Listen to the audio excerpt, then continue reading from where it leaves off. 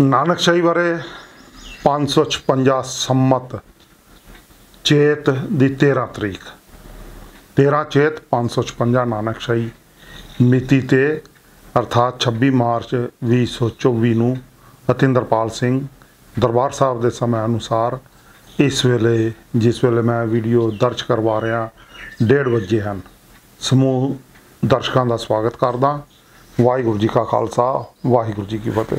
ਇੱਕ ਵਾਰੀ ਫਿਰ ਚੇਤਾ ਕਰਾ ਦੇਣਾ ਚਾਹੁੰਦਾ ਕਿ ਗੁਰੂ ਗੋਬਿੰਦ ਸਿੰਘ ਪਾਤਸ਼ਾਹ ਜੀ ਨੇ ਇੱਕ ਚੇਤ ਨੂੰ ਹੋਲਾ ਮਹੱਲਾ ਮਨਾਇਆ ਸੀ ਤੇ ਹੋਲੇ ਮਹੱਲੇ ਦਾ ਅਸਲ ਤਾਤਪਰ ਇਹ ਸੀ ਕਿ ਨਾਨਕਸ਼ਾਹੀ ਵਰਾ 12 ਮਾਹਾਂ ਅਨੁਸਾਰ ਆਰੰਭ ਹੁੰਦਾ ਹੈ।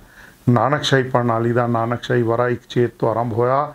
ਉਹਦੀ 13ਵੀਂ ਤਰੀਕ ਨੂੰ ਦਾਸ ਤੁਹਾਡੇ ਨਾਲ ਸੰਬੋਧਿਤ ਹੈ ਤੇ ਬਾਹਮਣਵਾਦੀ ਹੋਲਾ ਮਹੱਲਾ ਸ੍ਰੀ ਅਨੰਦਪੁਰ ਸਾਹਿਬ ਵਿਖੇ ਉਹਨਾਂ ਆਰਐਸਐਸ ਦੇ ਪ੍ਰਭਾਵ ਹੇਠਲੀਆਂ ਜਥੇਬੰਦੀਆਂ, ਸਿੱਖ ਸਮਾਜ ਅਤੇ ਵਰਗ ਲਾਇਆ ਗਿਆ ਆਮ ਸਿੱਖ ਜਿਹਨੂੰ ਸਮਝ ਨਹੀਂ ਹੈ, ਉਹ ਘੇਰ ਕੇ ਉੱਥੇ ਇਸ ਵੇਲੇ ਹੋਲਿਕਾ ਮਨਾ ਰਿਹਾ ਅੱਜ ਮੈਂ ਤੁਹਾਡੇ ਨਾਲ ਗੱਲ ਕਰਨ ਲੱਗਾ। ਤੁਸੀਂ ਵੀ ਮੈਨੂੰ ਕਹਿ ਸਕਦੇ ਹੋ ਕਿ ਭਗਵੰਤ ਮਾਨ ਵਾਕਨ ਬੜੀ ਦੇਰ ਬਾਅਦ ਆਇਆ। ਪਰ ਨਹੀਂ। ਮੈਂ ਜਾਣਬੁੱਝ ਕੇ ਦੇਰ ਬਾਅਦ ਆਇਆ। ਮੈਂ ਇਸ ਮੁੱਦੇ ਤੇ ਪਹਿਲਾਂ ਮਨ ਬਣਾ ਲਿਆ ਸੀ ਕਿ ਗੱਲ ਕਰਨੀ ਹੀ ਨਹੀਂ ਹੈ ਤੇ ਹੁਣ ਮਨ ਇਸ ਲਈ ਬਣਾਇਆ ਕਿ ਸੰਗਰੂਰ ਵਿੱਚ ਜਿਹੜੀਆਂ ਨਕਲੀ ਸ਼ਰਾਬ ਪੀ ਕੇ ਜਾਂ ਜ਼ਹਿਰੀਲੀ ਸ਼ਰਾਬ ਪੀ ਕੇ ਮੌਤਾਂ ਟਿੱਬੀ, ਰਵਦਾਸਪੁਰਾ ਅਤੇ ਗੁਜਰਾਂ ਪਿੰਡ ਵਿੱਚ ਹੋਈਆਂ ਹਨ, ਉਹਨਾਂ ਤੇ ਗੱਲ ਕਰਨੀ ਹੈ। ਕਿਉਂ ਕਰਨੀ ਹੈ? ਇਹ ਮੈਂ ਤੁਹਾਨੂੰ ਅੱਗੇ ਦੱਸਾਂਗਾ। ਵੀਡੀਓ ਵਿੱਚ ਨਾਲ ਬਣੇ ਰਿਹਾ ਜੇ ਤੇ ਬੜੇ ਧਿਆਨ ਨਾਲ ਸੁਣਿਆ ਜੇ।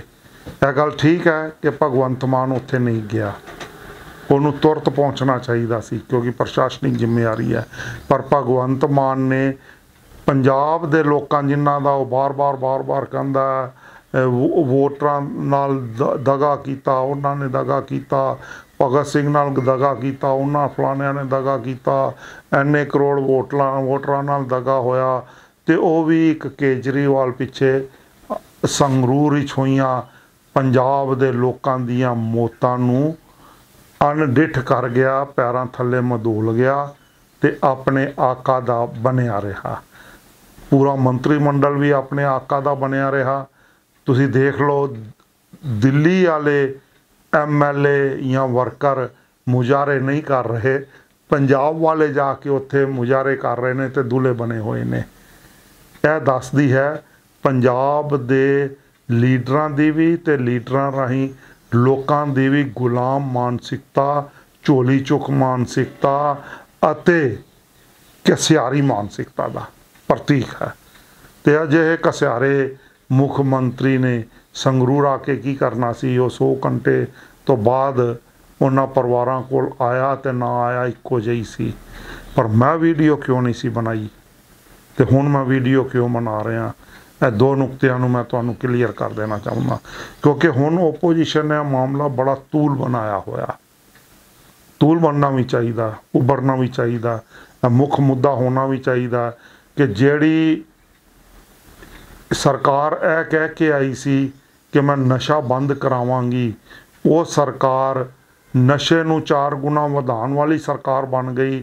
ਸ਼ਰਾਬ ਵਿੱਚ ਵੀ ਲਿਬਰਲ ਨੀਤੀ ਲਿਆ ਕੇ ਸਸਤੀ ਤੇ ਘਰ ਘਰ ਸ਼ਰਾਬ ਪਹੁੰਚਾਉਣ ਵਾਲੀ ਹੋਮ ਡਿਲੀਵਰੀ ਵਾਲੀ ਸਰਕਾਰ ਬਣ ਗਈ। ਤੇ ਜਦੋਂ ਇੰਨੀ ਸਸਤੀ ਅਤੇ ਹੋਮ ਡਿਲੀਵਰੀ ਵਾਲੀ ਵੀ ਸ਼ਰਾਬ ਕੇਜਰੀਵਾਲ ਅਤੇ ਭਗਵੰਤ ਮਾਨ ਸਰਕਾਰ ਨੇ ਦੇ ਦਿੱਤੀ।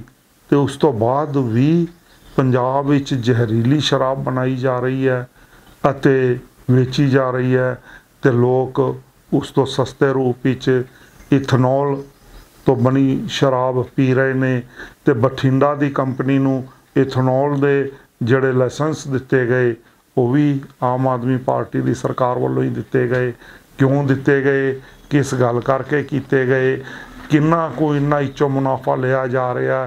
ਕਿਉਂਕਿ ਕਥਿਤ ਤੌਰ ਤੇ ਕਿਹਾ ਜਾਂਦਾ 185% ਮੁਨਾਫਾ ਤਾਂ ਅਹ, ਪਰਚੂਨ ਸ਼ਰਾਬ ਦੇ ਠੇਕੇਦਾਰਾਂ ਨੂੰ ਕੇਜਰੀਵਾਲ ਨੇ ਦਿੱਲੀ 'ਚ ਦਿੱਤਾ ਤੇ ਉਸ ਵਿੱਚੋਂ ਅੱਧ ਕੀਤਾ। ਹੁਣ ਪੰਜਾਬ ਵਿੱਚ ਕੀ ਹੋਇਆ? ਤਾਂ ਪੰਜਾਬ ਵਿੱਚ ਜਿਸ ਵੇਲੇ ਈਡੀ ਆਏਗੀ ਇਨਕੁਆਇਰੀ ਹੋਏਗੀ ਤਾਂ ਹੀ ਪਤਾ ਚੱਲੇਗਾ। ਪਰ ਇਹ ਮਾਮਲਾ ਬੜਾ ਵੱਡਾ ਮਾਮਲਾ ਬਣਾ ਦਿੱਤਾ ਗਿਆ ਹੈ। ਇਸ ਮੁੱਦੇ ਤੇ ਮੈਂ ਤੁਹਾਡੇ ਨਾਲ ਗੱਲ ਖੁੱਲ ਕੇ ਕਰਨਾ ਚਾਹੁੰਦਾ। ਕਿਉਂਕਿ ਇਸ ਤੋਂ ਪਹਿਲਾਂ ਹੁਣ ਜੇ ਦੇਖਿਆ ਜਾਏ, ਸੀਟ ਵੀ ਬਣ ਗਈ ਹੈ। ਇਸ ਤੋਂ ਪਹਿਲਾਂ ਅੰਮ੍ਰਿਤਸਰ ਵਿੱਚ ਵੀ ਹੋਇਆ ਸੀ। ਅੰਮ੍ਰਿਤਸਰ ਤੋਂ ਪਹਿਲਾਂ ਪਠਾਨਕੋਟ ਵਿੱਚ ਵੀ ਇਹੋ ਜਿਹੇ ਕਾਂਡ ਪਿਛਲੀਆਂ ਸਰਕਾਰਾਂ ਵਿੱਚ ਹੋਏ ਨੇ।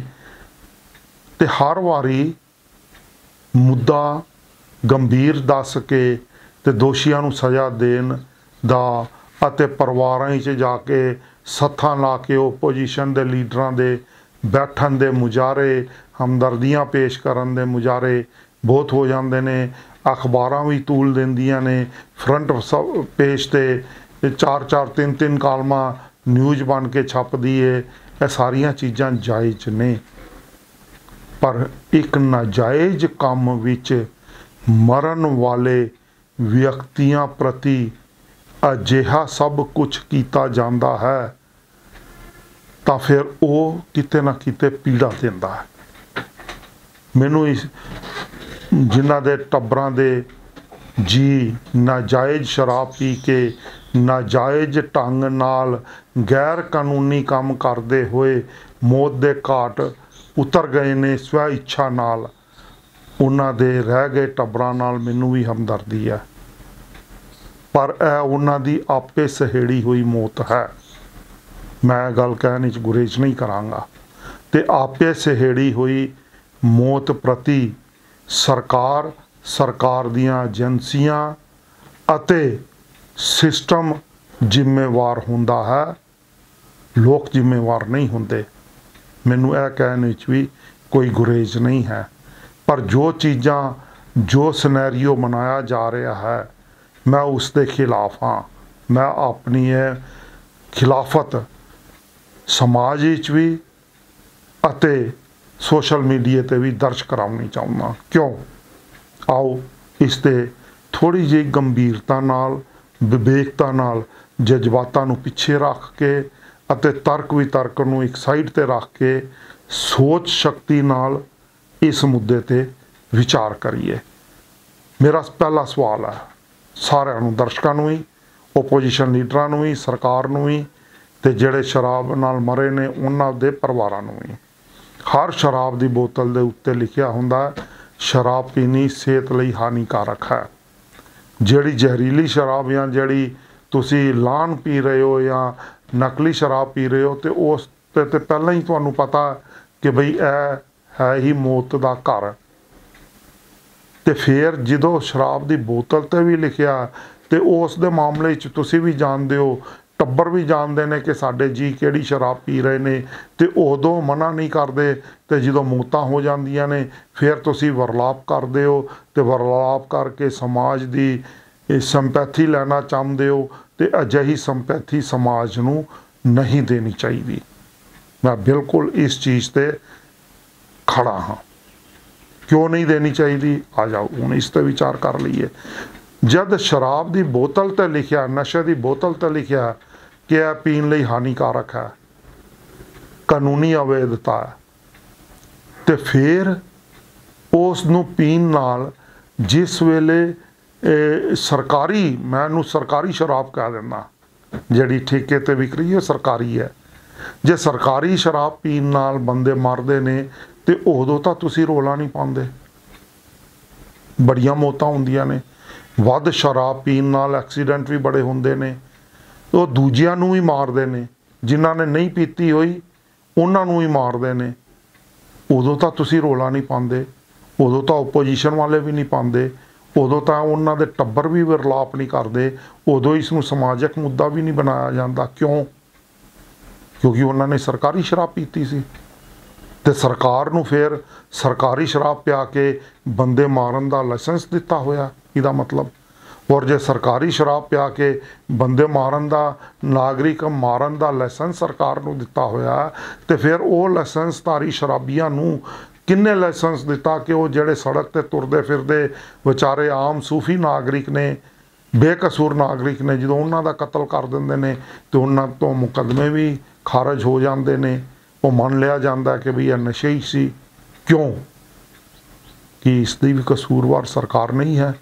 ਕਿ ਇਸ ਦਾ ਵੀ ਕਸੂਰਵਾਰ ਸਮਾਜ ਨਹੀਂ ਹੈ, ਕਿ ਇਸ ਦਾ ਵੀ ਕਸੂਰਵਾਰ ਉਹ ਟੱਬਰ ਨਹੀਂ ਹੈ। ਫਿਰ ਜਿਹੜੇ ਅਜਿਹੇ ਨਜਾਇਜ਼ ਬੰਦੇ ਮਾਰੇ ਜਾਂਦੇ ਨੇ, ਸੂਫੀ ਬੰਦੇ ਮਾਰੇ ਜਾਂਦੇ ਨੇ ਸ਼ਰਾਬੀਆਂ ਵੱਲੋਂ, ਤੇ ਫਿਰ ਉਸ ਦਾ ਮੁਆਵਜ਼ਾ ਉਹ ਸ਼ਰਾਬੀਆਂ ਦੇ ਟੱਬਰਾਂ ਵੱਲੋਂ ਕਿਉਂ ਨਹੀਂ ਦਵਾਇਆ ਜਾਂਦਾ? ਸਰਕਾਰ ਵੱਲੋਂ ਕਿਉਂ ਨਹੀਂ ਦਿੱਤਾ ਜਾਂਦਾ? ਇਸ ਦਾ ਜਵਾਬ ਚਾਹੀਦਾ ਸਮਾਜ ਤੋਂ ਵੀ ਚਾਹੀਦਾ ਓਪੋਜੀਸ਼ਨ ਲੀਡਰਾਂ ਤੋਂ ਵੀ ਚਾਹੀਦਾ ਜਿਹੜੇ ਹੁਣ ਸੰਗਰੂਰ ਜਾ ਕੇ ਗੁ- ਪਿੰਡ ਗੁੱਜਰ ਵਿੱਚ ਜਾਂ ਟਿੱਬੀ ਰਵਦਾਸ ਵਿੱਚ ਜਾ ਕੇ ਸਾਥਾਂ ਵਸਾ ਕੇ ਓਪੋਜੀਸ਼ਨ ਵਾਲੇ ਬੈਠੇ ਨੇ ਤੇ ਆਪਣੀ ਟੀਆਰਪੀ ਵੋਟਾਂ ਦੀ ਲੈ ਰਹੇ ਨੇ, ਉਹਨਾਂ ਤੋਂ ਵੀ ਚਾਹੀਦਾ। ਆਮ ਆਦਮੀ ਪਾਰਟੀ ਦੇ ਕੈਬਨਿਟ ਮੰਤਰੀ ਅਮਨ ਅਰੋੜਾ ਨੇ ਲੱਖ ਵਾਟ ਸਿਰੇ ਤੇ ਗੰਢ ਸਾਰਾ ਕੁਝ ਹੀ ਖੋਲਤਾ। ਗੰਢ ਵੀ ਖੋਲਤੀ ਤੇ ਲੱਖ ਵੱਟ ਵੀ ਸਾਰੇ ਕੱਢਤੇ। ਉਹ ਕਹਿੰਦੇ ਨੇ ਕਿ ਜੇ ਸਰਕਾਰੀ ਠੇਕੇ ਤੋਂ ਸਰਕਾਰੀ ਬੋਤਲ ਖਰੀਦ ਕੇ ਪੀਂਦੇ ਔਰ ਬੰਦਾ ਮਰਦਾ ਤਾਂ ਪੰਜਾਬ ਸਰਕਾਰ ਦੀ ਜ਼ਿੰਮੇਵਾਰੀ ਹੋਣੀ ਸੀ।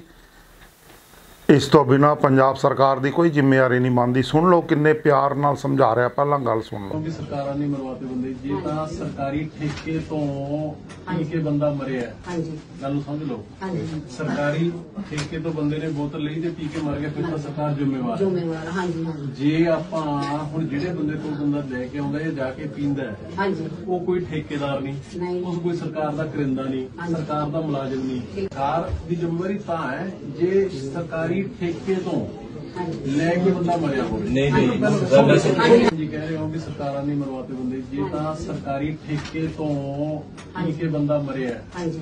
ਗੱਲ ਨੂੰ ਸਮਝ ਲਓ। ਹਾਂਜੀ। ਸਰਕਾਰੀ ਠੇਕੇ ਤੋਂ ਬੰਦੇ ਨੇ ਬੋਤਲ ਲਈ ਤੇ ਪੀ ਕੇ ਮਰ ਗਿਆ ਫਿਰ ਤਾਂ ਸਰਕਾਰ ਜ਼ਿੰਮੇਵਾਰ ਹੈ। ਜ਼ਿੰਮੇਵਾਰ ਹਾਂਜੀ ਹਾਂਜੀ। ਜੇ ਆਪਾਂ ਹੁਣ ਜਿਹੜੇ ਬੰਦੇ ਤੋਂ ਬੰਦਾ ਲੈ ਕੇ ਆਉਂਦਾ ਜਾਂ ਜਾ ਕੇ ਪੀਂਦਾ ਹੈ, ਹਾਂਜੀ। ਉਹ ਕੋਈ ਠੇਕੇਦਾਰ ਨਹੀਂ ਨਹੀਂ। ਉਸ ਕੋਈ ਸਰਕਾਰ ਦਾ ਕਰਿੰਦਾ ਨਹੀਂ। ਸਰਕਾਰ ਦਾ ਮੁਲਾਜ਼ਮ ਨਹੀਂ। ਸਰਕਾਰ ਦੀ ਜ਼ਿੰਮੇਵਾਰੀ ਤਾਂ ਹੈ ਜੇ ਸਰਕਾਰੀ ਠੇਕੇ ਤੋਂ ਲੈ ਕੇ ਬੰਦਾ ਮਰਿਆ ਹੋਵੇ। ਨਹੀਂ, ਨਹੀਂ, ਪਹਿਲਾਂ ਗੱਲ ਸੁਣੋ। ਹੁਣ ਪੰਜਾਬ ਦੇ ਲੋਕਾਂ ਨੂੰ ਸਮਝ ਲੈਣਾ ਚਾਹੀਦਾ ਸਰਕਾਰ ਤੇ ਪ੍ਰਸ਼ਾਸਨ ਕਿਸ ਪਾਸੇ ਜਾ ਰਿਹਾ ਹੈ। ਸਰਕਾਰ ਅਤੇ ਪ੍ਰਸ਼ਾਸਨ ਇਸ ਪਾਸੇ ਜਾ ਰਿਹਾ ਹੈ ਕਿ ਜੇ ਕਿਸੇ ਨੇ ਸਰਕਾਰੀ ਲਾਇਸੈਂਸ ਸ਼ੁਦਾ ਪਿਸਤੌਲ ਦੁਨਾਲੀ ਕਾਰਬਾਈਨ ਨਾਲ ਬੰਦਾ ਮਾਰਤਾ ਤਾਂ ਤਾਂ ਪੰਜਾਬ ਸਰਕਾਰ ਦੀ ਜ਼ਿੰਮੇਵਾਰੀ ਹੈ ਅਤੇ ਪੰਜਾਬ ਸ- ਪੁਲਿਸ ਦੀ ਵੀ ਜ਼ਿੰਮੇਵਾਰੀ ਹੈ। ਤਫਤੀਸ਼ ਵੀ ਹੋਊਗੀ, ਕੇਸ ਵੀ ਬਣੂਗਾ।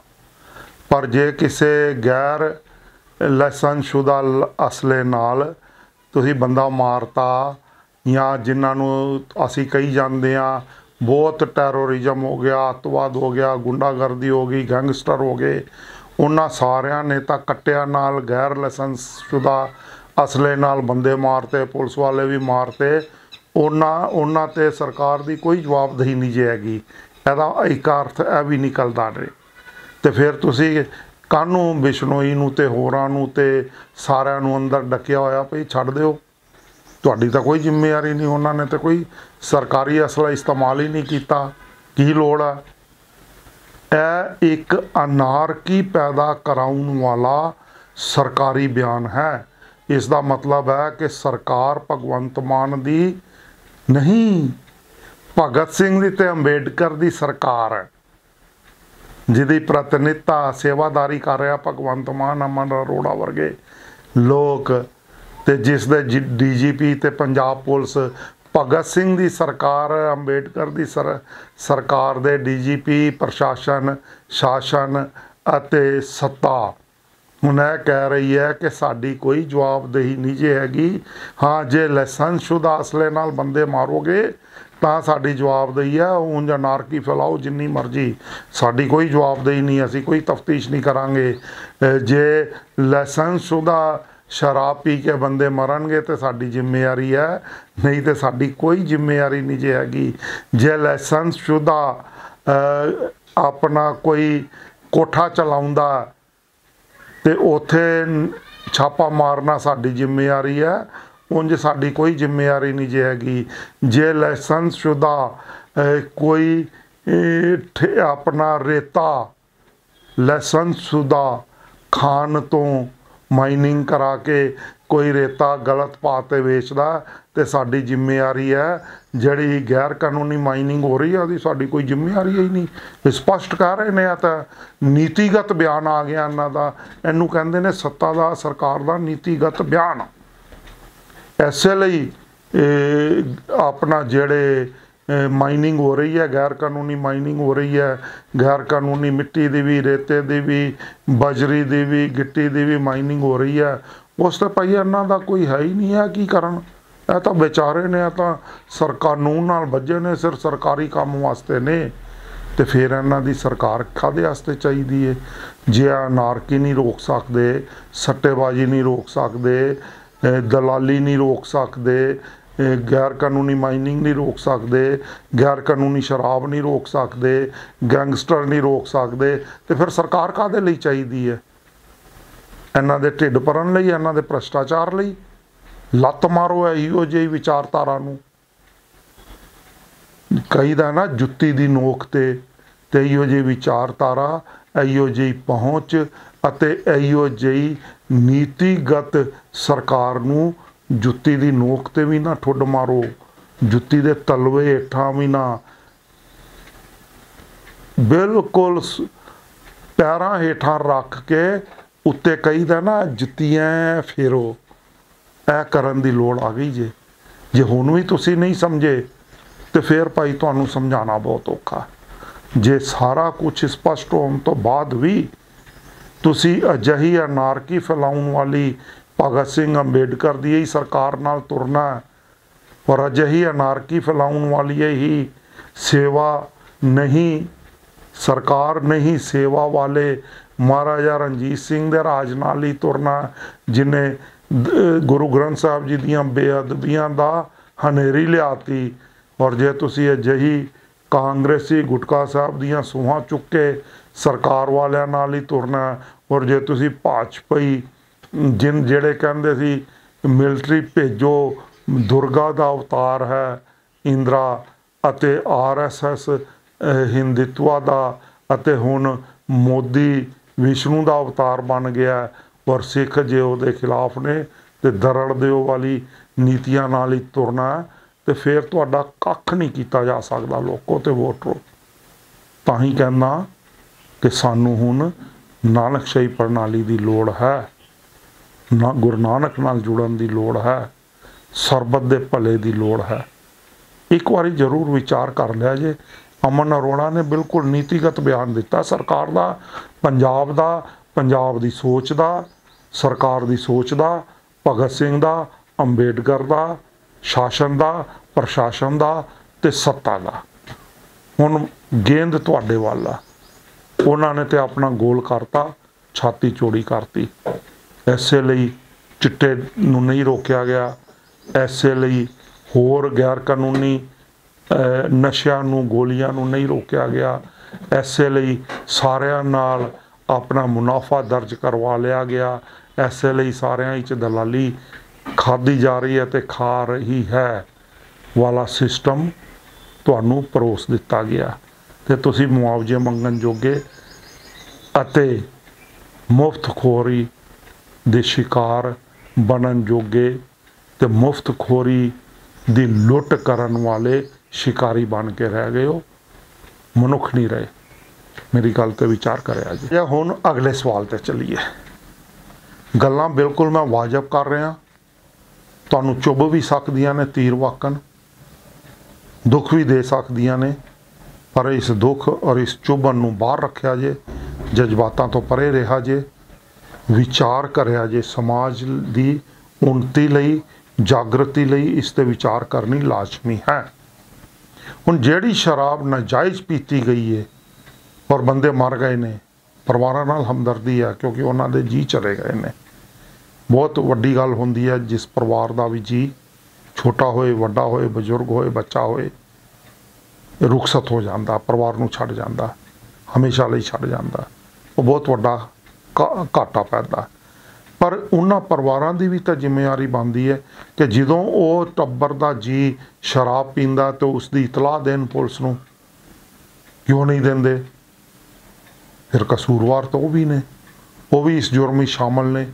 ਬਰਾਬਰ ਦੀ ਸ਼ਾ- ਸ਼ਮੂਲੀਅਤ ਹੋ ਜਾਂਦੀ ਹੈ ਤੇ ਉਹਨਾਂ ਦੇ ਘਰਾਂ ਵਿੱਚ ਜਿਸ ਵੇਲੇ ਸੀਐਮ ਜਾ ਕੇ ਜਾਂ ਸੱਤਾਧਾਰੀ ਮੰਤਰੀ ਜਾਂ ਅਫਸਰ ਜਾ ਕੇ ਕਹਿੰਦੇ ਨੇ, ਜੀ, ਅਸੀਂ ਤੁਹਾਨੂੰ ਮੁਆਵਜ਼ਾ ਦੇਣ ਆਏ ਆ ਤੇ ਉਹ ਉਸ ਤੋਂ ਵੱਡੇ ਕਸੂਰਵਾਰ ਹੋ ਜਾਂਦੇ ਨੇ। ਉਸ ਦਾ ਮਤਲਬ ਇਹ ਹੈਗਾ ਕਿ ਤੁਸੀਂ ਨਾਜਾਇਜ਼ ਤਰੀਕੇ ਨਾਲ ਗੈਰ ਕਾਨੂੰਨੀ ਤੌਰ ਤੇ ਮਰਨ ਵਾਲੇ ਜਾਂ ਆਤਮ ਹੱਤਿਆ ਕਰਨ ਵਾਲਿਆਂ ਨੂੰ ਜਾਂ ਨਕਲੀ ਸ਼ਰਾਬ ਪੀਣ ਵਾਲਿਆਂ ਨੂੰ ਅਤੇ ਜਿਹੜੇ ਲਾਹਨ ਕੱਢ ਕੇ ਨਕਲੀ ਧੰਦਾ ਕਰਦੇ ਨੇ, ਉਹਨਾਂ ਨੂੰ ਪ੍ਰੋਤਸਾਹਨ ਦਿੰਦੇ ਹੋ ਤੇ ਅੱਗੋਂ ਇਹ ਕਹਿੰਦੇ ਹੋ ਕਿ ਉਹ ਉਨ ਮਰਨ ਵਾਲਿਆਂ ਨੂੰ ਸਰਕਾਰੀ ਖਜ਼ਾਨੇ ਚੋਂ ਮਤਲਬ ਮੇਰੀ ਅਤੇ ਤੁਹਾਡੀ ਟੈਕਸ ਦੀ ਕਮਾਈ ਚੋਂ ਸਰਕਾਰੀ ਖਜ਼ਾਨਾ ਹੋਰ ਕੀ ਹੁੰਦਾ? ਭਗਵੰਤ ਮਾਨ ਤਾਂ ਟੈਕਸ ਦਿੰਦਾ ਨਹੀਂ, ਸੁਖਵੀਰ ਬਾਦਲ ਤਾਂ ਜਦੋਂ ਮੰਤਰੀ ਹੁੰਦਾ ਟੈਕਸ ਦਿੰਦਾ ਨਹੀਂ, ਬਲਰਾਮ ਜਾਖੜ ਤਾਂ ਜਦੋਂ ਮੰਤਰੀ ਹੁੰਦਾ ਟੈਕਸ ਦਿੰਦਾ ਨਹੀਂ, ਖਹਿਰਾ ਸਾਹਿਬ ਤਾਂ ਜਦੋਂ ਮੰਤਰੀ ਹੁੰਦੇ ਨੇ, ਆਪਣੀ ਉਸ ਤਨਖਾਹ ਦਾ ਤੇ ਟੈਕਸ ਦਿੰਦੇ ਨਹੀਂ, ਹੋਰ ਆਮਦਨ ਦਾ ਦਿੰਦੇ ਨੇ। ਤੇ ਫਿਰ ਸਾਡੀਆਂ ਟੈਕਸ ਦੀਆਂ ਜਿਹੜੀ ਸਰਕਾਰੀ ਧਨ ਹੈ, ਉਹ ਸਾਡਾ ਆਪਣਾ ਹੈ।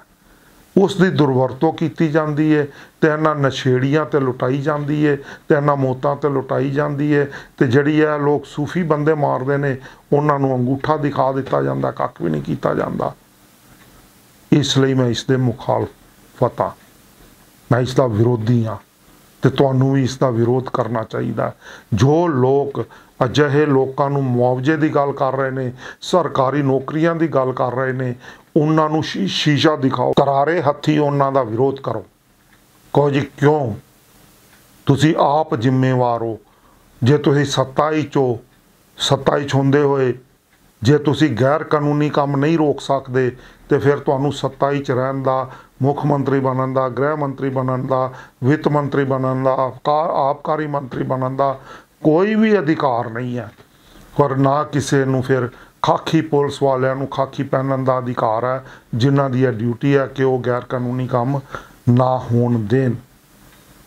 ਹੁਣ ਜ- ਜਿਹੜੀਆਂ ਤੁਸੀਂ ਕਹਿੰਦੇ ਹੋ 4 ਲੱਖ ਲੀਟਰ ਲਾਨ ਫੜ ਲਈ 2 ਲੱਖ ਲੀਟਰ ਨਕਲੀ ਸ਼ਰਾਬ ਉੱਥੇ ਫੜ ਲਈ, ਇੱਧਰ ਫੜ ਲਈ, ਹੈਲੀਕਾਪਟਰ ਦੇਖ ਰਹੇ ਹੋ ਕਿਉਂ ਤੁਸੀਂ ਮੂਰਖ ਬਣਾ ਰਹੇ ਹੋ? ਤੁਹਾਨੂੰ ਤਾਂ ਪਹਿਲਾਂ ਤੋਂ ਹੀ ਪਤਾ, ਪਹਿਲਾਂ ਵੀ ਤੁਹਾਡੇ ਡਰੋਨ ਤੇ ਹੈਲੀਕਾਪਟਰ ਦੇਖ ਸਕਦੇ ਨੇ, ਹਮੇਸ਼ਾ ਹੀ ਦੇਖਦੇ ਨੇ। ਉਦੋਂ ਤੁਸੀਂ ਉਹਨਾਂ ਨਾਲ ਹਿੱਸੇ ਪੱਤੀ ਰੱਖਦੇ ਹੋ। ਤੇ ਮੇਰੀ ਬੇਨਤੀ ਹੈ ਕਿ ਜਿੱਥੇ ਵੀ ਅਜਿਹੇ ਕਾਂਡ ਹੋਣ, ਜੇ ਤੁਸੀਂ ਮੁਆਵਜ਼ੇ ਦੇਣੇ ਨੇ, ਤੇ ਉਹ ਪੁਲਿਸ ਅਫਸਰ ਜਿਹੜਾ ਮਾਤ ਮਾਤਹਤ ਉੱਥੋਂ ਦਾ ਐਸਐਚਓ ਹੈ ਡੀਐਸਪੀ ਹੈ ਐਸਐਸਪੀ ਹੈ ਅਤੇ ਜਿਹੜਾ ਉੱਥੋਂ ਦਾ ਐਮਐਲਏ ਹੈ ਤੇ ਜਿਹੜਾ ਉੱਥੋਂ ਦਾ ਕੈਬਨਿਟ ਮੰਤਰੀ ਹੈ ਉਹਨਾਂ ਦੀਆਂ ਤਨਖਾਹਾਂ ਕੱਟ ਕੇ ਉਹਨਾਂ ਨੂੰ ਮੁਆਵਜ਼ੇ ਚਾਹੀਦੇ ਦਿਓ। ਸਾਨੂੰ ਕੋਈ ਇਤਰਾਜ਼ ਨਹੀਂ ਹੈ ਸਰਕਾਰੀ ਮੇਰੀ ਔਰ ਤੁਹਾਡੀ ਟੈਕਸ ਦੀ ਕਮਾਈ ਚੋਂ ਅਸੀਂ ਮੁਆਵਜ਼ੇ ਦੇਣ ਦਾ ਵਿਰੋਧ ਕਰਦੇ ਹਾਂ। ਠੋਕ ਕੇ ਆਖੋ। ਕਹਿਣਾ ਪੈਣਾ ਤੁਹਾਨੂੰ। ਤਾਂ ਇਹੋ ਜੇ ਜੁਰਮ ਤੇ ਇਹੋ ਜੇ ਮੁਜਰਮਾਨਾ ਅਫਸਰ, ਰਾਜਨੀਤਿਕ ਲੋਕ ਬਾਜ ਆਣਗੇ ਜੇ। ਨਹੀਂ ਤਾਂ ਨਹੀਂ ਆਣਗੇ, ਕਿਉਂਕਿ ਇਹਨਾਂ ਨੇ ਤੇ ਆਪਣੀ ਕਮਾਈ ਦਾ ਸਾਧਨ ਬਣਾਇਆ। ਜਿਵੇਂ ਰੇਤੇ ਨੂੰ ਸਾਧਨ ਬਣਾਇਆ ਹੋਇਆ, ਬਜਰੀ ਨੂੰ ਸਾਧਨ ਬਣਾਇਆ ਹੋਇਆ, ਮਿੱਟੀ ਨੂੰ ਸਾਧਨ ਬਣਾਇਆ ਹੋਇਆ, ਉਵੇਂ ਇਹਨਾਂ ਨੇ ਸ਼ਰਾਬ ਨੂੰ ਵੀ ਸਾਧਨ ਬਣਾਇਆ ਹੋਇਆ ਔਰ ਬਹੁਤ ਵੱਡਾ ਸਾਧਨ ਬਣਾਇਆ ਹੋਇਆ। ਇਸ ਤੋਂ ਬਾਅਦ ਚੌਥਾ ਸਵਾਲ, ਜੇ ਨਕਲੀ ਸ਼ਰਾਬ ਪੀਣ ਵਾਲਿਆਂ ਨੂੰ ਮੁਆਵਜ਼ਾ ਮਿਲ ਸਕਦਾ ਔਰ ਪੋਲੀਟੀਕਲ ਬੰਦੇ, ਚਾਹੇ ਉਹ ਅਕਾਲੀ ਦਲ, ਸੁਖਬੀਰ ਬਾਦਲ ਹੋਏ, ਕਹਿੰਦਾ 25 ਲੱਖ ਦੇ ਦਿਓ ਚਾਹੇ ਜਾਖੜ ਸਾਹਿਬ ਹੋਣ ਚਾਹੇ ਖਹਿਰਾ ਸਾਹਿਬ ਹੋਣ, ਚਾਹੇ ਕਾ- ਕਾਂਗਰਸ ਦੇ ਪ੍ਰਧਾਨ ਸਾਹਿਬ ਹੋਣ, ਸਾਰੇ ਹੀ ਇੱਕ ਸੋਰੀ ਚ ਇੱਕੋ ਜਿਹੀ ਬੋਲੀ ਬੋਲਦੇ ਪਏ ਨੇ ਤੇ ਸਰਕਾਰ ਮੁਆਵਜ਼ਾ ਦੇਣ ਲਈ ਆਤੁਰ ਵੀ ਹੋਈ ਪਈ ਹੈ, ਕਿਉਂਕਿ ਵੋਟਾਂ ਦੇ ਦਿਨ ਆ ਗਏ ਨੇ, ਵੋਟਾਂ ਪੁਣਾਣੀਆਂ ਨੇ, ਤੇ ਫਿਰ ਮੇਰੀ ਬੇਨਤੀ ਹੈ ਕਿ ਜੇ ਨਜਾਇਜ਼ ਸ਼ਰਾਬ ਪੀਣ ਵਾਲਿਆਂ ਨੂੰ 25 25 ਲੱਖ ਦੇ ਮੁਆਵਜ਼ੇ ਤੇ ਇੱਕ ਇੱਕ ਨੌਕਰੀ ਦਿੱਤੀ ਜਾ ਸਕਦੀ ਹੈ ਤੇ ਫਿਰ ਜਿਹੜਾ ਨਾਜਾਇਜ਼ ਚਿੱਟੇ ਪੀ ਕੇ ਰੋਜ਼ਾਨਾ ਨੌਜਵਾਨ ਮੁੰਡੇ ਤੇ ਕੁੜੀਆਂ ਮੌਤ ਦਾ ਸ਼ਿਕਾਰ ਹੋ ਰਹੇ ਨੇ, ਉਹਨਾਂ ਦੇ ਵੀ ਮੁਆਵਜ਼ੇ ਤਿਆਰ ਹੋਣੇ ਚਾਹੀਦੇ ਨੇ। ਉਹਨਾਂ ਨੂੰ ਵੀ ਮੁਆਵਜ਼ੇ ਦਿੱਤੇ ਜਾਣ। ਉਹਨਾਂ ਨੂੰ ਕਿਉਂ ਨਹੀਂ ਦਿੱਤੇ ਜਾਂਦੇ ਬਈ? ਮੇਰਾ ਸਵਾਲ ਹੈ ਉਦੋਂ ਪੋਲੀਟੀਕਲ ਪਾਰਟੀਆਂ ਕਿਉਂ ਨਹੀਂ ਬੋਲਦੀਆਂ? ਉਹਨਾਂ ਦੇ ਘਰਾਂ ਵਿੱਚ ਜਾ ਕੇ ਸੱਥਰ ਵਿਛਾ ਕੇ ਤੁਸੀਂ ਕਿਉਂ ਨਹੀਂ ਬੰਦੇ ਰੋਜ਼ਾਨਾ ਪੰਜਾਬ ਵਿੱਚ ਉਸ ਤਨ ਦੋ ਮੌਤਾਂ ਹੋ ਰਹੀਆਂ ਨੇ। ਚਿੱਟੇ ਦੇ ਨਸ਼ੇ ਕਰਕੇ ਓਵਰਡੋਜ਼ ਕਰਕੇ। ਉੱਥੇ ਤਾਂ ਕਦੇ ਕਿਸੇ ਪਿੰਡ ਦੀ ਪੰਚਾਇਤ ਨੇ ਵੀ ਸੱਥਰ ਨਹੀਂ ਵਿਛਾਏ। ਉੱਥੇ ਤਾਂ ਕਿਸੇ ਪਿੰਡ ਦੀ ਪੰਚਾਇਤ ਨੇ ਵੀ ਮੁਆਵਜ਼ੇ ਦੀ ਗੱਲ ਨਹੀਂ ਕੀਤੀ। ਕਿਉਂ ਨਹੀਂ ਕੀਤੀ? ਇਹ ਜਿਹੜਾ ਤੁਹਾਡੀ ਦੋ ਦੋ ਮੂੰਹੀ ਸੱਪੀ ਨੀਤੀ ਹੈ ਨਾ ਇਹ ਦੋ ਮੂੰਹਾਂ ਫਨੀਅਰ ਸੱਪ ਤੁਸੀਂ। ਇਹ ਆਗੂ ਜਿਹੜੇ ਨੇ ਆ ਲੀਡਰ ਨੇ ਲੀਡਰ ਨੇ ਔਰ ਜਿਹੜੇ ਆ ਸਮਾਜਿਕ ਤੌਰ ਤੇ ਵਰਤਾਰਾ ਤੁਸੀਂ ਬਣਾ ਰਿਹਾ, ਇਹ ਤੁਹਾਡਾ ਦੋ ਮੂੰਹੀ ਸੱਪੀ ਵਰਤਾਰਾ। ਤੁਸੀਂ ਡੰਗਦੇ ਪਏ ਹੋ ਆਪਣੇ ਆਪ ਨੂੰ ਵੀ ਤੇ ਲੋਕਾਂ ਨੂੰ ਵੀ। ਇਹ ਨਹੀਂ ਜੇ ਚੱਲਣਾ ਚਾਹੀਦਾ। ਇਸ ਤੇ ਰੋਕ ਲੱਗਣੀ ਚਾਹੀਦੀ ਹੈ।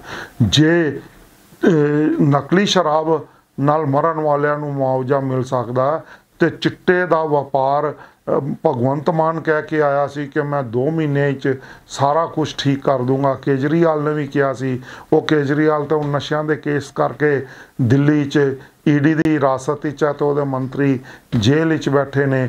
ਵਾਰੀ ਪਤਾ ਨਹੀਂ ਕਿਦੋਂ ਪੰਜਾਬ ਵਾਲਿਆਂ ਦੀ ਵੀ ਆ ਜਾਏ ਤੇ ਚਿੱਟੇ ਵਾਲਿਆਂ ਦੀ ਵਾਰੀ ਕਿਦੋਂ ਆਏਗੀ ਜੀ? ਉਹ ਤਾਂ ਕਾਂਗਰਸ ਨੇ ਵੀ ਸੋ ਚੁੱਕੀ ਸੀ, ਅਕਾ, ਉਸ ਤੋਂ ਪਹਿਲਾਂ ਅਕਾਲੀ ਦਲ ਨੇ ਵੀ ਚੁੱਕੀ ਸੀ ਤੇ ਹੁਣ ਭਗਵੰਤ ਮਾਨ ਨੇ ਵੀ ਚੁੱਕੀ ਹੈ ਤੇ ਚਿੱਟੇ ਤੇ ਮੌਤਾਂ ਤਾਂ ਉਵੇਂ ਦੀਆਂ ਉਵੇਂ ਹੀ ਹੋ ਰਹੀਆਂ ਨੇ, ਸਗੋਂ ਚਿੱਟਾ ਵੱਧਦਾ ਜਾ ਰਿਹਾ, ਉਹ ਵੀ ਤਾਂ ਨਕਲੀ ਹੈ ਨਾ ਜੀ, ਸਾਰਾ ਨਕਲੀ ਨਸ਼ਾ ਹੈ ਨਾ। ਤੇ ਉਸ ਤੇ ਗੱਲ ਕਿਉਂ ਨਹੀਂ ਕੀਤੀ ਜਾਂਦੀ?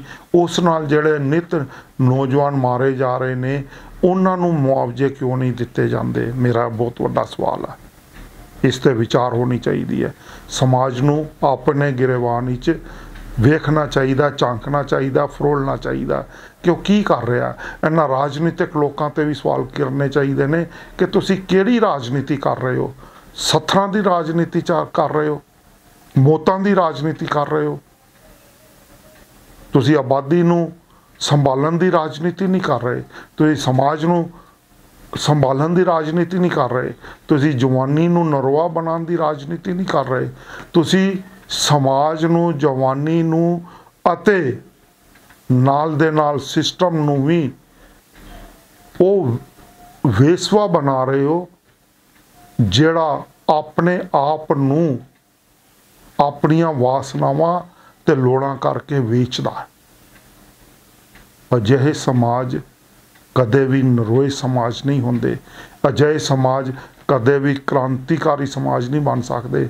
ਅਜਿਹੇ ਸਮਾਜ ਕਦੇ ਵੀ ਸੁਤੰਤਰ ਸਮਾਜ ਨਹੀਂ ਹੋ ਸਕਦੇ। ਅਜਿਹੇ ਸਮਾਜ ਕਦੇ ਵੀ ਬੁੱਧੀਮਾਨ ਸਮਾਜ ਨਹੀਂ ਅਖਵਾ ਸਕਦੇ। ਅਜਿਹੇ ਸਮਾਜ ਕਦੇ ਵੀ ਜਾਗਦੇ ਸਮਾਜ ਨਹੀਂ ਜੋ ਹੋ ਸਕਦੇ। ਔਰ ਤੁਸੀਂ ਹਮੇਸ਼ਾ ਸੁੱਤਾ ਰਹਿਣ ਲਈ ਕਹਿ ਰਹੇ ਹੋ ਕਿ ਮੁਆਵਜ਼ੇ ਵੀ ਦੇ ਦਿਓ। ਮਤਲਬ ਇਹ ਕੰਮ ਚੱਲਦਾ ਰਹੇ, ਕਿਉਂਕਿ ਤੁਹਾਡੇ ਕੋਲ ਫੰਡ ਬੜੇ ਆਉਂਦੇ ਨੇ। ਪਰ ਅਸੀਂ ਇਸ ਨੂੰ ਬੰਦ ਨਹੀਂ ਕਰਨ ਦੇਣਾ। ਹਾਂ, ਤੁਹਾਨੂੰ ਚੁੱਪ ਕਰਾ ਦੇਣਾ। ਤੇ ਮੈਂ ਸਮਾਜ ਨੂੰ ਕਹਾਂਗਾ, ਇਹਨਾਂ ਟੱਬਰਾਂ ਨੂੰ ਵੀ ਕਹਾਂਗਾ ਟੀਸ ਬੜੀ ਗਹਿਰੀ ਹੈ, ਨਾ ਮੁੱਕਣ ਵਾਲੀ ਹੈ, ਕਿਉਂਕਿ ਜਿਸ ਟੱਬਰ ਦਾ ਜੀ ਨਜਾਇਜ਼ ਸ਼ਰਾਬ ਪੀ ਕੇ ਜਾਂ ਚਿੱਟਾ ਪੀ ਕੇ ਮਰ ਜਾਂਦਾ, ਉਸ ਦੀ ਟੀਸ ਬੜੀ ਗੰਭੀਰ ਹੁੰਦੀ ਹੈ ਬੜੀ ਗਹਿਰੀ ਹੁੰਦੀ ਹੈ ਉਹ ਟੱਬਰਾਂ ਨੂੰ ਉਸ ਬੜੇ ਸਹਿਮ ਵਿੱਚ ਪਹੁੰਚਾ ਦਿੰਦੀ ਹੈ ਉਹ ਜੀਆਂ ਨੂੰ, ਉਹਨਾਂ ਦੇ ਧੀਆਂ ਪੁੱਤਾਂ ਨੂੰ, ਉਹਨਾਂ ਦੀ ਪਤਨੀ ਨੂੰ, ਮਾਪਿਓ ਨੂੰ ਐਸੇ ਸਹਿਮ ਸਦ, ਸਦਮੇ ਹੀ ਚਲਾ ਜਾਂਦੀ ਹੈ ਕਿ ਉਹ ਉੱਭਰ ਨਹੀਂ ਪਾਉਂਦੇ।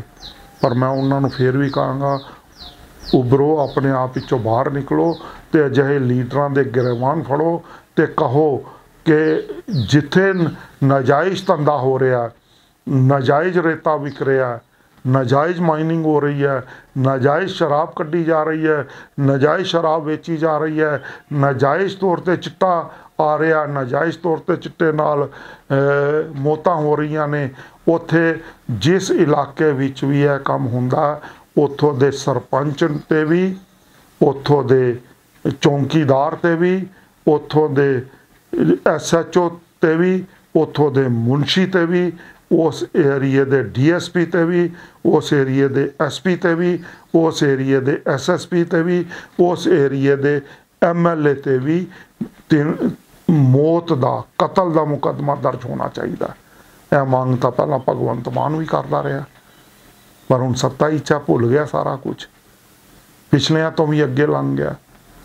ਜਦ ਤੱਕ ਇਹ ਜਵਾਬ ਦੇਈ ਨੀਅਤ ਨਹੀਂ ਕਰਦੇ ਕਿ ਜਿੱਥੇ ਇਹ ਨਾਜਾਇਜ਼ ਤੌਰ ਤੇ ਕੰਮ ਹੁੰਦੇ ਨੇ, ਜਿਹੜੇ ਵੀ ਹੁੰਦੇ ਨੇ, ਉੱਥੋਂ ਦਾ ਮੌਕੇ ਦਾ ਅਫਸਰ ਤੇ ਸੀਨੀਅਰ ਅਫਸਰ ਐਮਐਲਏ ਕਿਉਂਕਿ ਉਹ ਰਾਜਨੇਤਾ, ਉਹਦੇ ਰਾਹੀਂ ਸਾਰਾ ਕੁਝ ਹੋ ਰਿਹਾ, ਉਹਨਾਂ ਤੇ ਮੁਕੱਦਮੇ ਦਰਜ ਹੋਣਗੇ। ਇਹ ਕਾਨੂੰਨ ਅਤੇ ਇਹ ਮੰਗ ਹੋਣੀ ਚਾਹੀਦੀ ਹੈ। ਜਵਾਬਦੇਹੀ ਲੋਕਤੰਤਰ ਵਿੱਚ ਨੀਅਤ ਕੀਤੀ ਜਾਣੀ ਚਾਹੀਦੀ ਹੈ। ਇਸੇ ਜਵਾਬਦੇਹੀ ਲੋਕਤੰਤਰ ਦਾ ਨਾਂ ਹੈ ਨਾਨਕਸ਼ਾਹੀ ਪ੍ਰਣਾਲੀ। ਇਹ ਨਾਨਕਸ਼ਾਹੀ ਪ੍ਰਣਾਲੀ ਦੀ ਗੱਲ ਦਾਸ ਤਾਂ ਹੀ ਪਿਛਲੇ 6 ਸਾਲਾਂ ਤੋਂ ਲਗਾਤਾਰਤਾ ਵਿੱਚ ਕਰ ਰਿਹਾ ਕਿ ਹੁਣ ਪੰਜਾਬ ਨੂੰ ਚਾਹੀਦੀ ਹੈ ਨਾਨਕਸ਼ਾਹੀ ਜਵਾਬਦੇਹੀ ਵਾਲੀ ਲੋਕਤੰਤਰੀ, ਗੁਣਤੰਤਰੀ ਪ੍ਰਣਾਲੀ। ਜੇ ਤੁਸੀਂ ਨਹੀਂ ਦੇ ਸਕਦੇ ਸੱਤਾ ਛੱਡ ਕੇ ਚਲੇ ਜਾਓ, ਨਹੀਂ ਤੇ ਜਵਾਬਦੇਹੀ ਨੀਅਤ ਕਰਾਓ। ਇਸ ਲਈ ਦਾਸ ਨੇ ਇੰਨੇ ਦਿਨ ਰੁਕ ਕੇ ਵੀਡੀਓ ਬਣਾਈ ਹੈ। ਕਿਉਂਕਿ ਮੌਕੇ ਤੇ ਬਣਾਉਂਦਾ ਤੇ ਦੁਖੀ ਪਰਿਵਾਰਾਂ ਦੇ ਹਿਰਦਿਆਂ ਤੇ ਬਹੁਤ ਵੱਡੀ ਸੱਟ ਪਹੁੰਚਣੀ ਸੀ। ਉਹਨਾਂ ਦੇ ਹਮਦਰਦਾਂ ਤੇ ਵੀ ਬੜੀ ਵੱਡੀ ਸੱਟ ਪਹੁੰਚਣੀ ਸੀ। ਪਰ ਕਿਉਂਕਿ ਹੁਣ ਸੰਭਲ ਚੁੱਕੇ ਹੋ, ਮੈਂ ਮੰਨਦਾ ਕਿ ਹੁਣ ਤੁਸੀਂ ਠਰਮੇ ਨਾਲ ਸੱਥਰ ਵਿਛਾ ਕੇ ਇਹਨਾਂ ਮੁੱਦਿਆਂ ਤੇ ਵਿਚਾਰਾਂ ਕਰ ਸਕਦੇ ਹੋ, ਨਿਰਣਾ ਲੈ ਸਕਦੇ ਹੋ, ਜਵਾਬਦੇਹੀ ਨੀਅਤ ਕਰਵਾ ਸਕਦੇ ਹੋ ਤੇ 307 ਦੇ 302 ਦੇ ਮੁਕੱਦਮੇ ਇਹਨਾਂ ਸਾਰੇ ਅਫਸਰਾਂ, ਰਾਜਨੇਤਾਵਾਂ ਤੇ ਸੀਐਮ ਤੇ ਆਬਕਾਰੀ ਮੰਤਰੀ ਤੇ ਦਰਜ ਕਰਵਾ ਸਕਦੇ ਹੋ। ਡਿਮਾਂਡ ਇਹ ਹੋਣੀ ਚਾਹੀਦੀ ਹੈ। ਡਿਮਾਂਡ ਹੈ ਬਿਲਕੁਲ ਗਲਤ ਹੈ ਕਿ ਮੁਆਵਜ਼ੇ ਦਿੱਤੇ ਜਾਣ। ਮੌਤ ਦਾ ਕੀ ਮੁਆਵਜ਼ਾ ਹੁੰਦਾ? ਔਰ ਕਿਉਂ ਹੁੰਦਾ? ਮੇਰਾ ਸਵਾਲ ਹੈ। ਮਤਲਬ ਤੁਸੀਂ ਮੌਤਾਂ ਸਰਕਾਰੀ ਧਨ ਨਾਲ, ਮਤਲਬ ਮੇਰੇ ਔਰ ਤੁਹਾਡੇ ਟੈਕਸ ਦੀ ਕਮਾਈ ਨਾਲ ਤੁਸੀਂ ਮੋਤਾ ਖਰੀਦਣ ਵਾਲੇ ਬਣ ਗਏ ਹੋ। ਤੇ ਘੱਟੋ ਘੱਟ ਮੈਂ ਇਸ ਲਈ ਆਪਣੇ ਟੈਕਸ ਦੀ ਕਮਾਈ ਤੁਹਾਨੂੰ ਵਰਤਣ ਦੀ ਇਜਾਜ਼ਤ ਨਹੀਂ ਦਿੰਦਾ। ਮੈਂ ਕਿਉਂ ਮੋਤਾ ਖਰੀਦਣ ਵਾਲਾ ਸਮਾਜ ਦਾ ਬੰਦਾ ਬਣਾ? ਇਹ ਨਾਗਰਿਕਾਂ ਨੂੰ ਸੋਚਣਾ ਚਾਹੀਦਾ ਜਿਹੜੇ ਟੈਕਸ ਦੇ ਰਹੇ ਨੇ, ਉਹਨਾਂ ਨੂੰ ਵੀ ਸੋਚਣਾ ਚਾਹੀਦਾ ਕਿ ਤੁਸੀਂ ਤੁਸੀਂ ਰਾਖਸ਼ ਬਣ ਰਹੇ ਹੋ। ਤੁਸੀਂ ਡੈਨ ਬਣ ਰਹੇ ਹੋ। ਕਿਉਂਕਿ ਤੁਹਾਡੀ ਕਮਾਈ ਨਾਲ ਸਰਕਾਰ ਮੋਤਾਂ ਖਰੀਦਦੀ ਪਈ ਹੈ ਔਰ ਗੁਲਛਰਰੇ ਉਡਾ ਰਹੀ ਹੈ ਮੋਤਾਂ ਖਰੀਦ ਕੇ। ਔਰ ਲੋਕੀ ਮੋਤਾਂ ਵੇਚਦੇ ਪਏ ਜੇ। ਇਹ ਸਿਸਟਮ ਬੰਦ ਹੋਣਾ ਚਾਹੀਦਾ। ਮੈਂ ਇਸ ਸਿਸਟਮ ਦੀ ਨੂੰ ਨਖਿੱਧਦਾ ਤੇ ਮੁੱਢੋਂ ਰੱਦ ਕਰਦਾ ਤੇ ਤੁਹਾਨੂੰ ਨਾਨਕਸ਼ਾਹੀ ਪ੍ਰਣਾਲੀ ਪੇਸ਼ ਕਰਦਾ। ਵਿਚਾਰ ਕਰਿਆ ਜੇ, ਜਰੂਰ ਕਰਿਆ ਜੇ, ਇੱਕ ਵਾਰ ਨਹੀਂ, ਦੋ ਵਾਰੀ ਕਰਿਆ ਜੇ, ਜਿਸ ਵੀਡੀਓ ਸਮਝ ਨਹੀਂ ਆਈ ਰਿਵਾਈਂਡ ਕਰਕੇ ਦੁਬਾਰਾ ਪੂਰੀ ਸੁਣ ਲਿਆ ਜੇ, ਆਪਣੇ ਪਰਿਵਾਰ ਵਿੱਚ, ਆਪਣੇ ਯਾਰਾਂ ਦੋਸਤਾਂ ਨਾਲ ਸਾਂਝੀ ਜਰੂਰ ਕਰਿਆ ਜੇ।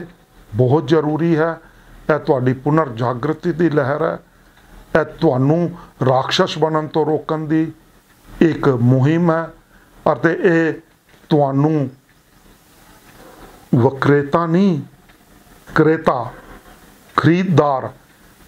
ਲੋਕਾਂ ਦੇ ਬੱਚਿਆਂ ਦੀਆਂ ਮੌਤਾਂ ਦਾ ਖਰੀਦਦਾਰ ਬਣਨ ਤੋਂ ਰੋਕਣ ਦੀ ਪ੍ਰਣਾਲੀ ਦੀ ਵੀਡੀਓ ਹੈ। ਇਸ ਲਈ ਸ਼ੇਅਰ ਜ਼ਰੂਰ ਕਰ ਦਿਆ ਜੇ, ਜਿਨ੍ਹਾਂ ਨੇ ਅੱਜ ਤੱਕ C5 ਚੈਨਲ C5 ਪੰਥ ਖਾਲਸਾ ਚੈਨਲ ਅੱਜ ਤੱਕ ਸਬਸਕ੍ਰਾਈਬ ਨਹੀਂ ਕੀਤਾ ਉਹਨਾਂ ਨੂੰ ਬੇਨਤੀ ਹੈ ਸਬਸਕ੍ਰਾਈਬ ਵੀ ਕਰਿਆ ਜੇ, ਕਿਉਂਕਿ ਇਹ ਤੁਹਾਡੇ ਨਿੱਜੀ ਮੁੱਦੇ ਚੁੱਕਦਾ ਤੁਹਾਡੇ ਜਾਗਰਤੀ ਵਾਲੇ ਮੁੱਦੇ ਚੁੱਕਦਾ ਹੈ, ਤੇ ਇਸ ਨੂੰ ਤੁਹਾਡੀ ਇਸ ਇੱਕ ਬਟਨ ਦੀ ਬੜੀ ਸਖਤ ਲੋੜ ਜੇ ਕਿ ਤੁਸੀਂ ਇਹਨੂੰ ਵੱਧ ਤੋਂ ਵੱਧ ਸਬਸਕ੍ਰਾਈਬ ਕਰੋ ਸ਼ੇਅਰ ਕਰੋ ਲਾਈਕ ਕਰੋ। ਵੀਡੀਓ ਨੂੰ ਆਪਣੇ ਫੇਸਬੁੱਕ ਪੇਜ ਤੇ ਵੀ ਵੀਡੀਓ ਨੂੰ ਆਪਣੇ WhatsApp ਗਰੁੱਪਾਂ ਵਿੱਚ ਵੀ ਜ਼ਰੂਰ ਸ਼ੇਅਰ ਕਰਿਆ ਕਰੋ। ਤਾਂ ਹੀ ਜਾਗਰਤੀ ਦੀ ਲਹਿਰਾਂ ਅੱਗੇ ਵਧਦੀਆਂ ਨੇ। ਇਹ ਇੱਕ ਮੁਹਿੰਮ ਹੈ। ਲੋਕ ਕ੍ਰਾਂਤੀ ਦੀ ਮੁਹਿੰਮ ਹੈ ਤੇ ਪੰਜਾਬ ਜਾਂ ਤਾਂ ਸੁੱਤਾ ਜਾਂ ਜਾਗਦਾ, ਇਸੇ ਚੀਜ਼ ਤੋਂ ਪਤਾ ਚੱਲੇਗਾ ਕਿ ਉਹ ਜਾਗਰਤੀ ਦੀ, ਸੱਚ ਦੀ ਆਵਾਜ਼ ਨੂੰ ਕਿੰਨਾ ਕੁ ਸ਼ੇਅਰ ਕਰਦਾ ਜਿਨ੍ਹਾਂ ਨੇ ਅੱਜ ਤੱਕ ਸਬਸਕ੍ਰਾਈਬ ਨਹੀਂ ਕੀਤਾ ਸਬਸਕ੍ਰਾਈਬ ਕਰਨ ਬੈਲ ਦਾ ਬਟਨ ਜ਼ਰੂਰ ਨੱਪਣ ਤੇ ਜਿਹੜੇ ਸ਼ੇਅਰ ਨਹੀਂ ਕਰਦੇ, ਉਹਨਾਂ ਨੂੰ ਹੱਥ ਜੋੜ ਕੇ ਬੇਨਤੀ ਹੈ ਸ਼ੇਅਰ ਕਰੋ। ਇਸ ਨਾਲ ਸਮਾਜ ਜਾਗਰਤ ਹੁੰਦਾ ਹੈ ਤੇ ਤੁਹਾਡੀ ਇੱਕ ਸ਼ੇਅਰ ਨਾਲ ਬਹੁਤ ਸਮਾਜ ਬਦਲ ਸਕਦਾ ਹੈ। ਇਸ ਮੁਹਿੰਮ ਵਿੱਚ ਸਾਥ ਦਿਓ। ਤੁਹਾਡਾ ਆਪਣਾ ਅਤਿੰਦਰਪਾਲ ਸਿੰਘ। ਵਾਹਿਗੁਰੂ ਜੀ ਕਾ ਖਾਲਸਾ ਵਾਹਿਗੁਰੂ ਜੀ ਕੀ ਫਤਿਹ।